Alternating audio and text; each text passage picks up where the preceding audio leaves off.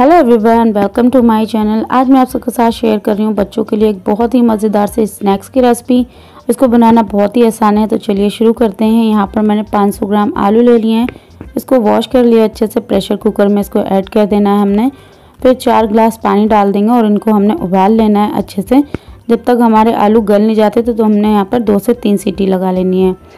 तो यहाँ पर मैंने दो सीटी लगा ली हैं और जब ये सीटी निकल जाएगी तो हमने इसको खोल के चेक कर लेना है, आलू गले हैं या नहीं तो हमने यहाँ पर एक कांटे वाले चम्मच की हेल्प से इसको निकाल कर चेक कर लेना है। तो ये देखिए फ्रेंड्स आलू हमारे अच्छे से अंदर तक गल चुके हैं।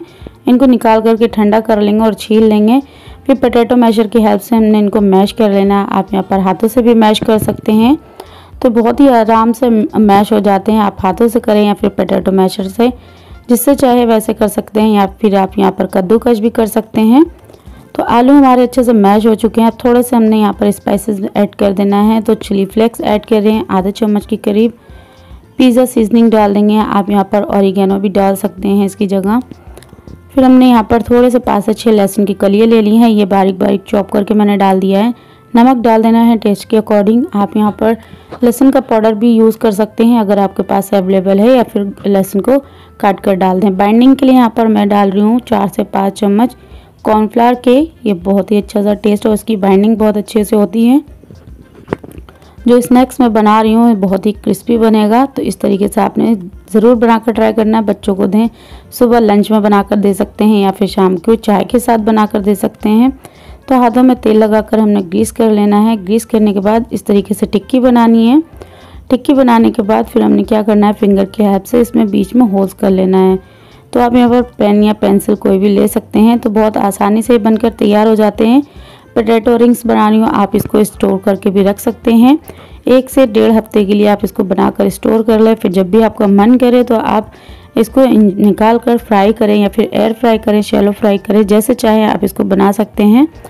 तो ये बहुत ही टेस्टी लगते हैं खाने में चाय के साथ। तो ये देखिए फ्रेंड्स मैंने एक बार और भी आपको बनाकर दिखा दिया है कि कितना आसान होता है, पर हाथों में तेल ज़रूर लगा लिएगा। बहुत ही आसानी से बन जाते हैं, वरना आप जो आलू हैं वो हाथों में चिपकने लगेगा, इसलिए हाथों में तेल लगा कर ग्रीस कर लिएगा। तो यहाँ पर सारे पोटैटो रिंग्स हमारे बना कर के तैयार हैं। तो एकदम परफेक्ट हमारे बन कर के तैयार हैं। आप इसको स्टोर करके भी रख सकते हैं एयर टाइट जार में। तो चलिए शुरू करते हैं। अब हमने इनको फ्राई कर लेना है। तेल हमने यहाँ पर पहले से चढ़ा दिया है। तो शैलो फ्राई कर रही हूँ। यहाँ पर मैंने पहले से तेल गर्म कर लिया है। एक एक करके हमने यहाँ पर पटेटो रिंग्स को डाल देना है। जब ये अच्छे से एक साइड से फ्राई हो जाएँगे, फिर पलट के हमने इसको दूसरे साइड से भी सेक लेना है। क्रिस्पी गोल्डन होने तक के हमने इनको फ्राई कर लेना है। अलटते पलटते यहाँ पर मैंने सारे पटेटो रिंग्स को फ्राई कर लिया है कुछ इस तरीके से। तो ये देख सकते हैं कितना अच्छा सा कलर आया है। अब क्या करना है, हमने इनको निकाल लेना है। इसी तरीके से दूसरा बैच भी फ्राई कर लेंगे।